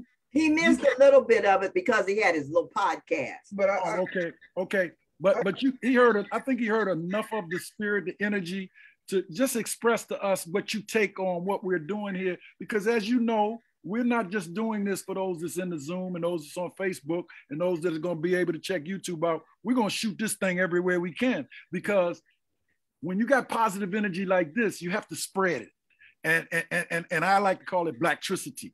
The blacktricity creates the syn- synchronicity that is required to change the planet. And unlike Superman, we we collectively got way more power than that Superman. Y'all hear me? Because we are the super beings of the Most High. So without any further ado, uh, let's hear Kai. All right, I'm just gonna uh, I'm a Virgo, so I like to tap into Virgo energy. We like to go full circle. So we here, there, everywhere. We just... so am I, y'all. But look, Ras Lidj, he is too. And so is so is Jamal. So Jamal. Yeah, well, first of all, I just want to thank you and this platform, my mom, and the Pan Africanist community. Like Brother Jamal was saying, we grew up in a safe environment to bring out these levels of creativity and with that being said, and approaching music, the power of music on the worldview, I just want to take a quick second to shout out. I'm from DC, we're down south now, but go-go music and my brother Diallo Sombre and his network have taken go-go music back to Ghana. That is powerful within itself. And we need to do more things of that. That's the new 2021 spin that we should be taking and connecting the genres. Also, speaking of genres, when I was growing up, my mom used to always get on me about um, listening to gangster music. She said it has a demonic tone to it. And the vibration of music and how it can influence, in particular, energies that you're feeling. When you're going through something, you might want to listen to some jazz, some instrumentals. Some music can bring out more fiery energy, right? So even um, going down to the chain gang and slavery. That's how we would to, could mentally check out, even to the brothers in the pen when they, you know what I'm saying? That's all they got. And I dare you make fun of them when they doing that and they're singing because that's the only thing they got to tap out. So the genres of music are very important and, and how we have to bridge it to, together. And um, like I said, just on a on a on a worldview, music music is so powerful on every entity. Like I'm a culinary artist, so the first thing I want to do is put on some music so I can create. You know, music music is, is everywhere, it's, it's prevalent. It's like it's just like aromatherapy or any any other type of therapy. We need that music. Music is an outlet, it's a soul, and it brings our community together. I mean, I just uh images of the uh, Caribbean Day Parade, Georgia Avenue Day. You see all type of people from all genres that might not even enjoy the music, but just the expression, the the the tone, the energy that is sent out of love, you know, as well as uh, when uh, my brother Jamal mentioned Banneker Field, you know, being out there with some of the uh, bimbes and some of the um, Akans out there in traditional dress and we drumming, you know, we out there, but we weren't bothered because people were just amazed at the, the, the energy of the drum it just transform. People will just come out of anywhere. What What are you guys doing? Can Can we join in? Yeah, please. We don't even know the dances, but any dance is accepted. So that's just my little spill on the power of. of well, that, that, that's a lot. That's a lot, and I really appreciate you sharing. Now, I just want to throw something out there, and we're gonna go in reverse this time. We're gonna start with Jamal and go to Putu, then Ras, and then we're gonna end with the sister. Uh, I just want to throw this out there now. What advice would you all give to those Garveyites that are holding tradition to the UNIA ACL government and striving to bring Africans together and to make a, a worldwide united African states. What would y'all say to us at this point? Uh, you know, whether it's a, uh, whether it's a positive message, whether or not it's a recommendation. Uh, I'm not asking for a critique or criticism, but y'all, if you feel that you want to do that, feel free to do that. But I just want y'all to speak to us because what we're doing is putting structure together for the next 100, 200 years to pass on.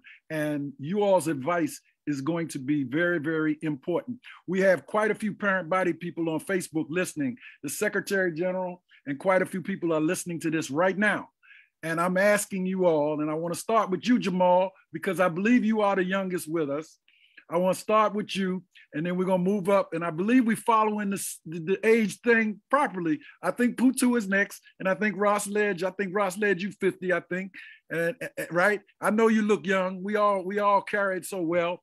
Uh, I know, but but I, am putting it out there for you, Ras. I wouldn't do that to the sisters, but Ivy, certainly you are last, and and are the elder statements state states woman of the guests that we have. So we're gonna go in that order. So Jamal, what would you tell us, or what would you give us in terms of recommendations of things that we can do better, and to help artists do you know do do their work?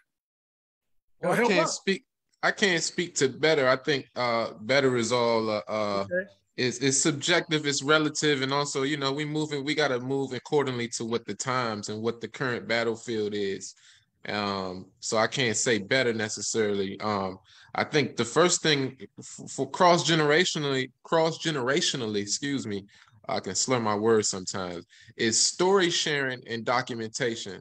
Uh, I think a big piece for me, you know, especially if we're talking about building a sense of identity uh, or, or moving into structures, um, you know, music as a tool, especially to speak of like the jazz movement and how people were able to advance on their instruments so quickly and, and so effortlessly in certain ways or seemingly was they were almost schools. Like these master teachers playing in their bands was like going to a certain school. And so in that school you learn form you learn instrument technique you know work ethic but you also learn you get stories and you get the path. And so you could kind of get uh, pieces of what led to where you are at that current moment. And i think uh, because of how fast information can move right now, um, what you get is I think you have a, a lot of younger people, younger than myself. I'm 36 in August, I'll be 36, um, who have all the information, but none of the context, none of the story that went to it. And so it's hard uh, to get a full understanding if you don't have all the pieces. And a lot of times, what that leads is to uh, I don't want to call it ignorance, but arrogance because if I hear you play Coltrane for a kid that's 15, well, they heard it. It's already in their subconscious, but they don't know everything that led up to Coltrane. They don't know everything that Coltrane influenced because their timeline, when they jump into the timeline, it's already here. So the thing we need, and I'm lucky to have, is elders around that could give me stories and show me the pieces that led up to the to that. So I bring that all the way back just to say like the piece of story sharing, documenting, because right now what the youth really got is great ways to document your story and make it sexy, you know, and I don't mean sexual, but make it sexy. Like, oh, they can put your story and gloss it and shine in a way that you will feel more confidence about it. And then that's how we we remove some of those barriers that I think are really just uh, self-imposed or really more mental barriers than actual like physical barriers. As we got sister tendai and, and, her son right there like that. Imagine i know they share stories. You can see that. And that's a part of how he, he can this brother can go and build his identity and build with the next and share with his friends. And you know for years i and this is me I, i'm only of the last maybe four years really tapping into my father's artistic legacy and tying it to my own. I had to go out and create my own so but that gave me the advantage in a way because I was able to go out and fail on my own and then come back with this and reach back to stories, reach back to the stories to see, okay, these things that we thought were new in the moment, they was only new for maybe in that moment. They're new to somebody, but a lot of these ideas, these feelings, these thoughts that we have, they go back and predate us. And there's lines and lineages, and you don't have to go back that far to get layered stories. So mm-hmm. I I just said a lot to say let's document these like we document these conversations. Document the story with the your local business owner, your local musician who he may not have the the story that's on VH1, but it's a significant story nonetheless. So let's just you know continue to document and then you don't have to be an artist or nothing. Just everybody's stories. Thank you so much for that, bro. And and I, and I'm gonna take take your advice. So y'all, what advice would you give us? so because I, I got you, bro, and I, I love you, man. I really appreciate you, and I and I love the way everybody is articulating what's on their mind and and sharing because it's gonna go a long way. Putu. Yes, peace, peace, man. Um, that's a great um answer, brother Jamal. I look like you got me by two months, man. You got me uh, on the age factor. I thought I thought I already I thought I was really older than you, man. I am the youngin out here, but um um so as far as um as far as um like the elders, I think this right here is a perfect example right here. You know, y'all already like like this is I really got to commend you all uh, especially you, Baba Senghor, Baba Mosi, for having this platform here for us to engage, because it's like what what we face, and sometimes is not even just our generation, but generations before that. Sometimes it's like a gap between the the elders and the and the, and the youth. It happens every time, um, and I think right now this is one of the most important times that we need to share stories, as Brother Jamal was saying and we have the opportunity to do it where like you don't have to we don't have, we don't have to like move trans you know go go, go far. We got to take advantage of the technology. Like um an example of something i was thinking like we could have on any given day just a, a topic or a question to ask the elders like and this is something that i have done um over the years certain times. Like i ask elders Okay, where were you when yesterday or uh, a few days ago was um, April 4th? That's um, Martin Luther King was assassinated. And like I don't I wasn't around. A lot of my peers weren't around, but some of you guys was around. And y'all remember exactly where you were and what happened immediately. That and how that affected y'all like we could have had, could we could still have it. Like, okay, where were you? You know what I mean? Were you around? And then have the el- the youngins, like the, the, the youth, listen.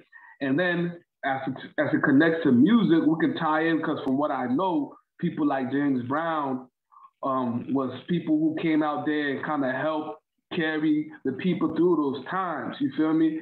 And so then we can translate it to what's going on now. We could talk about what happened when, you know, in our generation with the Tupacs and the Biggies to the Nipseys and the so on and so forth, the traumas, we can share stories because sometimes I have seen how elders um like damn man like why are you crying and uh, um triple x that's that's like the, a younger generation than me but like it really affected the like you know maybe the 24 25 year old and then nipsey that kind of touched you know me. You know what i'm saying? So it's like but if you don't listen to the music you're not tuned in you may not understand. But you might be able to reflect on a time that it, it you know one of your idols you know passed away and everything like that so I'm saying just having simple Zoom talk, you know I mean, sharing stories, interchange, exchanging stories. And then as, as far as the parent body of some of these organizations or institutions, specifically what we can do is the system as we know it, they, they have their they have their meetings and they've been having their meetings in person for the longest. But now a lot of their meetings is just like this on Zoom, and they're putting it on YouTube, they're putting it online, so we can actually see what they're talking about, what they're trying to plan. So they just had the World um, Economic Forum, you know, a meeting, a major meeting talking about the change in the digital currency. We can look at what they're talking about, and then like if we're gonna be operating on that level. So um, that's just my two cents on that.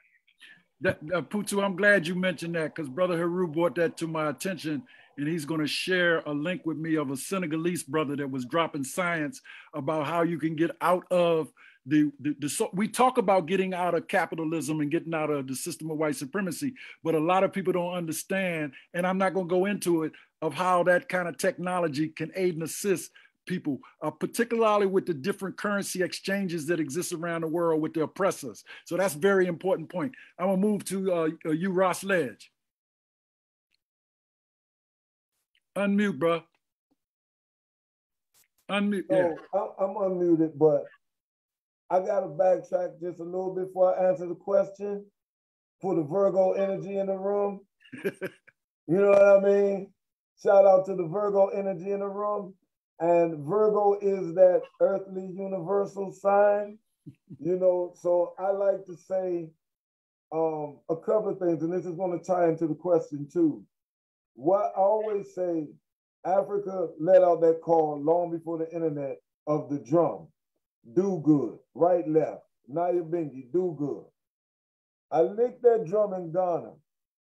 And I always tell people when they come across the ocean and it squeezed down the Potomac right along the Anacostia River, we in Gogo heard that same vibration double up to that same drum beat, right? So while I was there in Ghana, Virgo Energy, I licked that drum in Ghana, in Abajo Cafe. I played the drum in there. When I reached back here, one of the biggest shows that I was just called for for the start of my season this year, two weeks ago, I was called down on the Atlantic coast, one of the first places you would reach coming from Africa. I was called to Wilmington, North Carolina to do a performance at UNC Wilmington. Before that performance at night, I had to go speak to students of seventh and eighth grade at a school. Okay? Well, my Virgo family in the room, the name of that school, remember, Ras Lidj is original from Southeast Washington, D.C. The name of that school was DC Virgo. So how did that vibration re- meet me right back here on this side of the Atlantic? Okay. All right. So um, Yes, to answer the question, I took some notes down while the brothers was answering because I would say to all of the Garveyites, our elders out there who have been uh, teaching and bringing it to me, hold it. Don't let it go. Please. Truth shall reveal. You know, I took these notes and I will say this. Before I had enlightened myself with certain books, uh, Garvey, I was still learning from the Rastafari elders and destruction of the black civilization by Chancellor Williams, you know, things like that. Baba Senghor, before my hair was ever this long, it was really little. and Baba Senghor, he can hold you and he can talk to you. And when you're a young man and you're a young kid, it can always be nerve wracking. Come on now, brother, because when he got to pull a point, he gonna hold you like this and pull on you and talk to you because he want to drive his point. And I would say, Lord, this man just get to me. I want to run and duck and hide from him. But how ironic are we here today sharing the same platform and same message because it was important to him that he got to me because he knew with him, like y'all said, planting the seeds of the words in me, if I wasn't hearing it through him, I was going to reach somewhere in this circle because he knew I was standing in the circle as a young man at that time with his word sound was going to reach me. In any corner quadrant of DC or wherever I was trying to go, he I think he saw what Rego potential was before I fully knew. I knew I had the blessing and the gift, but that's just been our communication. So that's why I say again to the elder Garveyites, hold it. Don't let it go. Whatever you got to do, push it to the youth. Um, it may be nerve wracking, but like your parents, your parents, my brother sitting there with his mom. He said his mom say that that that that that uh, um gangster music. But you see how he full circle sitting there with moms today? He understood what he mean. And together they got a reason that she understands what he's saying, where that may be the only relief for somebody in that mindset. That music, them seven notes, calm them again. You know, so it's a conversation between the young and the elders but we want you to know as elders, please, we are getting it. Only other thing that I would say um, with communicating to us is, as a brother was saying, storytelling, document, uh, documentation, media.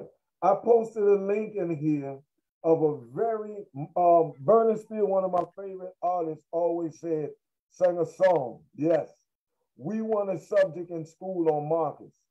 I just posted a YouTube link that I found about two months ago. There is an animated cartoon Yeah. on YouTube. Yeah.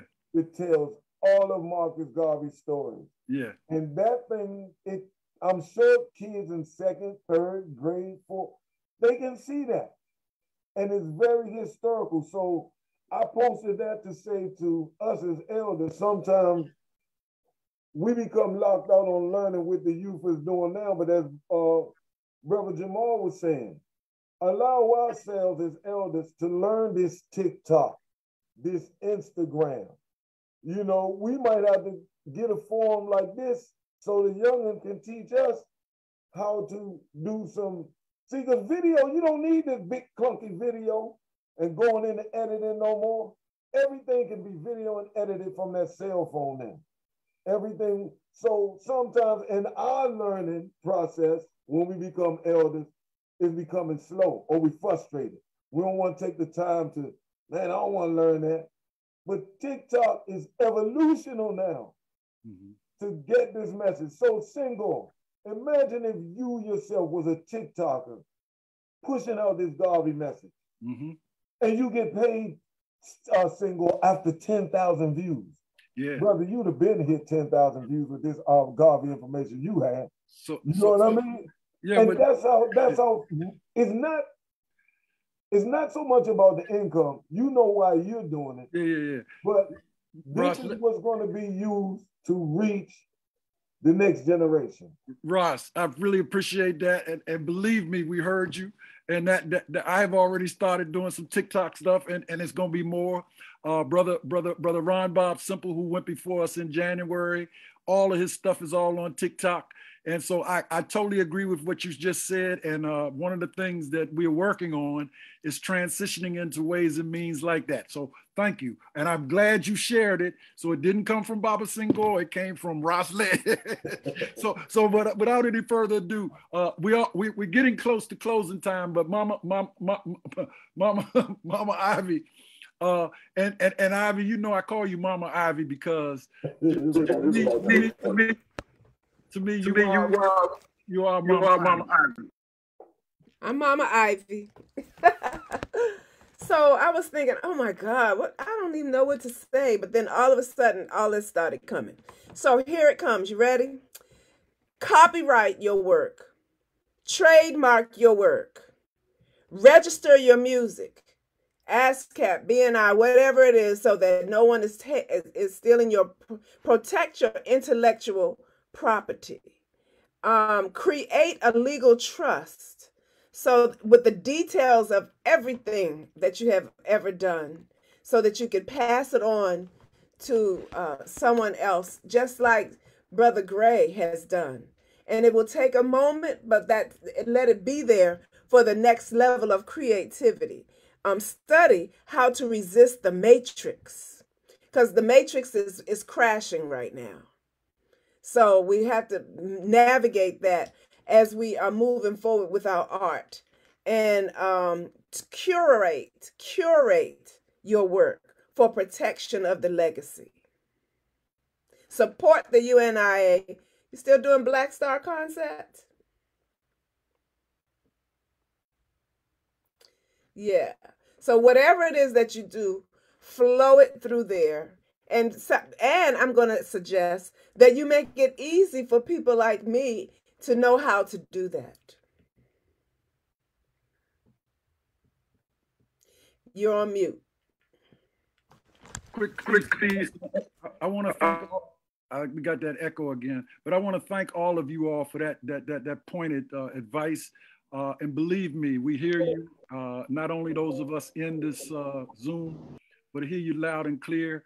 But I, I really want to just just say, not only uh, am I appreciative, or we are appreciative of you all sharing with us. Uh, this is just one hit. of course, we are family. Uh, we have what is called Black Star Action Network International, which was founded by my brother Chief Fode in Sierra Leone, who was an artist who worked with uh, Malcolm X's grandson. And many of us are part of Basani. and Bassani is attached to the hip with the UNIA ACL, RC 2020. So a lot of the things we, we're talking about are in motion, but we need to speak truth to power to each other. Each one needs to teach one. Nobody knows it all. Everybody, the more you know, the more you should know you don't know. That came from my good brother Jolly D. And for those who don't know Jolly D, Jolly D don't do a lot of stuff on, on media. Jolly D is still teaching young brothers and sisters. And I want to, I just want to throw that out there. But I also want to say uh, to Baba Mosi, thank you, Baba Mosi, for allowing Division 330 for hosting this particular kind, kind of forum. But I do think this is very important. Uh, our Secretary General is watching us on Facebook, and she made it clear to let me know she's watching and that's our Queen Mother, uh, uh, Mama uh, Ivy. You know, Mama Mama Mary has been around a little while, and she's been a teacher for many years, and she's in Chi-Town. And I want to just hail up everybody. I want to let you all know that we're very grateful that you all have taken your time out on this Freedom Friday. We will be sending this the Zoom link to you all, uh, and because uh, uh, it's been recorded. I believe it's been recorded. I'm pretty sure it's still being recorded. You know, but any rate, we're going to send that to everybody. Please spread it to everybody that you can. Uh, for all of the things that have been put in the uh, chat, we got it reserved because, like I said, we recorded this. So, but please, I want to let Baba Mosi, uh, if you can, Baba Mosi, uh, rather than me close us out. Are you able to close us out, Baba Mosi? I know you thanked everybody, but I want, I want, I wanted to make sure I turn it back. Oh, Mama Tendai, you got something to say? right quick, right quick. You know, I'm always working with the youth. I'm working with a young brother, Nigerian brother by the name of Adesije Awonyinka, and I will give you the information for him. He has created a film called The Elders. And this short film basically deals with the Nigerian elders and the music that they developed so that they can show the progress of how that background and that history has come full fold in terms of the way that we're dealing with music now. So I'm putting that out there because um, Brother Jamal, Brother Putu, and whatever, I want to help this brother get his film out there as well. Uh, you know, because he's a, he's a young man, and, and you don't don't know. I don't live in D.C. anymore. I'm in North Carolina, but I work with historically Black colleges and universities, even still at my age. So I have about 10 or 11 schools I'm working with. Um, so and, and Mama Tendai, Mama Tendai is not only an active uh, active organizer with the UNIA, she's active with Adasi and a whole lot of other things. And that's one of the things that's very important is that we want to lead by example to our brothers and sisters who follow us, not just our grandchildren and children. So I want to thank you, Mama Tendai. In fact, Baba Mosi, you want to let Mama Tendai close us out, or you want to close us out? Oh, I, will do it. It's not a problem. I, you know.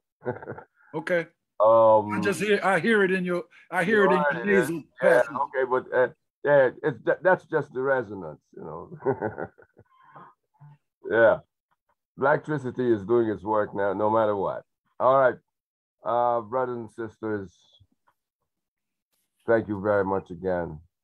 It's been a pleasure to be on with you. It's been a pleasure listening to your vibes. And it's been a pleasure to know that you care about our people as well as we are. And in a sense, you, you've given us even some advice as to how we can approach things. So we, we, we're listening to it. And we would, in some way, like to gather with you at another time so we can see how else we can work with you. Maybe members. Just putting it out there. All right. You know, when we close, we use the motto, which is a very simple thing. Three words. And you can follow after me. You need something, brother? Single? No, no, no. No, no, no. I was getting ready. I was with you. All right. All right. You just you raise your right fist. One God. One God.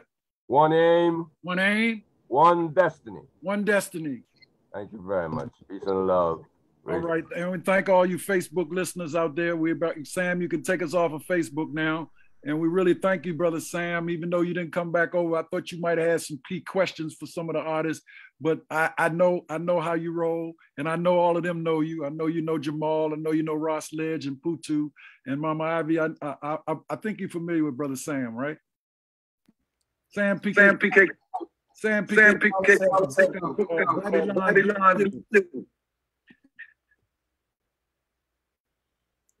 Sam, you want to come back over on this side real quick, just just to say hello to everybody? I know we locking down.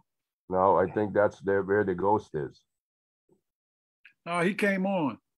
Oh, you did? Okay. Yeah, down there we say all eyes on DC. But uh, okay, it's all good. Anyway, Sam, thank you so much for helping out. Brother Heru was traveling. We really appreciate you all. Mama Tendai and Kai, thank you. Bros Lidj, thank you so much. Putu, thank you. Jamal, congratulations again, Baba go ahead and help mama out. I know, I know you got she got some work for you to do. and thank you for staying with us for two hours, Jamal. And keep up the great work, brother Jamal. And let us know however, anytime. I mean, you know, this family, man, you got a lot of uncles here, you know. So so so feel free if you need much need appreciated. Yeah, and, yeah. And thank yeah. y'all for your time, for real. Yeah, you stay Ivy, connected. I love you, Sister Ivy. I know you had a big one earlier uh, on Zoom, and uh, you, you, seem to be zooming all over the place these days, and that's a good thing. Hail up my brother Baba Salim for me, and let. And by the way, Ivy, uh, uh, uh we missed y'all down there in the VI, but but but I know. You know what it was. Salim would not come because we couldn't find a dog sitter. Yeah, I but that's but okay. That's okay. He wouldn't leave the dog just anywhere. He wouldn't leave them, and I know I don't want to leave them anywhere either. So, so I don't know. so I don't know what the Bible Salim, Salim, Salim lived down there in the VI for a while. Wow. Yeah, he was actually the executive director of that camp. Yeah, yeah. Exactly, that you exactly. all went to. Mm-hmm. Right, right. Well, Camp well, Arawak. Yeah, I hear you.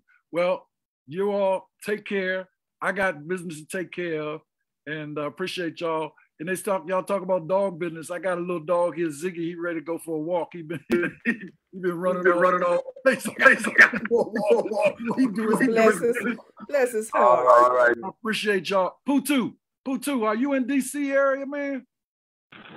Oh no, no, I didn't, I didn't make it out there. Oh, okay, week. no problem, no problem. I just want to say because I wanted to try to connect with you, but uh, anyway, stay strong, and uh, everybody, thank you so much. Really appreciate you Thank all. you all. And and uh, you all can, you all can look, you can look, you can look at the flyer, flyer and Facebook, Facebook, and and, and support and it on support your, it on your page. page. But we will, But we will send all the send all the YouTube. YouTube. We're gonna send, We're gonna you, send you when it's posted. Love you, Mama Tendai. I miss you. Bless up, everyone. Love you back, Mama. Love you back. Rasa Mama Fig, Ivy, I- I'm going I to be miss reaching you, out to you Steve. very Rasa soon. Fig, James, and Teresa. Y'all, thank y'all for joining us. Yeah, Bo, it's been an honor and a pleasure. Yeah, uh, powerful, wasn't it, Rasifique? I know, I know. Love Supreme was coming all over, over the place, wasn't it? Yes, sir. Always. all right, bro. Y'all take Thank care. for having. Blessings, everybody. Peace.